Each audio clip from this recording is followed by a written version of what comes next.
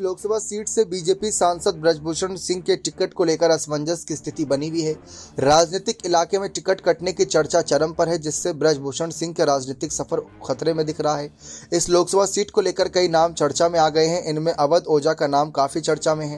हालाँकि अवध ओझा अपने एक बयान में ब्रजभूषण सिंह को गोंडा का राजा तक बता चुके हैं।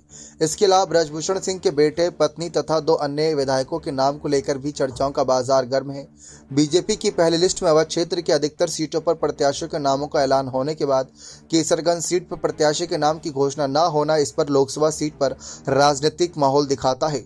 लोग इसे अब रेसलर प्रोटेस्ट और ब्रजभूषण सिंह पर लगे आरोपों से जोड़कर टिकट कटने की चर्चा कर रहे हैं। इसके साथ ही पिछले हफ़्ते अवध ओझा की डिप्टी सीएम केशव प्रसाद मौर्य और पूर्व डिप्टी सीएम दिनेश शर्मा से मुलाकात के बाद ओझा सर से यहाँ चुनाव लड़ने की चर्चा तेज हुई। दरअसल, अवध ओझा मूल रूप से गोंडा ज़िले के रहने वाले हैं। सबसे खास बात यह है कि इंडिया गठबंधन में ये सीट सपा के खाते में है।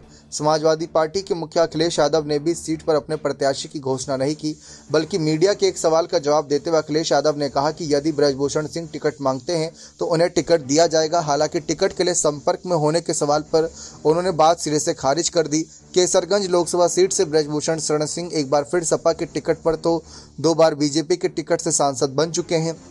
वर्ष 2014 के चुनाव में ब्रजभूषण सिंह ने समाजवादी पार्टी के उम्मीदवार विनोद कुमार उर्फ़ पंडित सिंह को पराजित किया। वर्ष 2019 के चुनाव में बसपा उम्मीदवार चंद देवराम को दो लाख इकसठ हज़ार मतों से हराया था। तो यानी कि ये सीट बनी बनाई सीट एक तरीके से ब्रजभूषण शरण सिंह की, ना ही सिर्फ़ यही सीट, बल्कि आसपास के क्षेत्र की भी कई सीटें ब्रजभूषण शरण सिंह की बनी बनाई सीट है।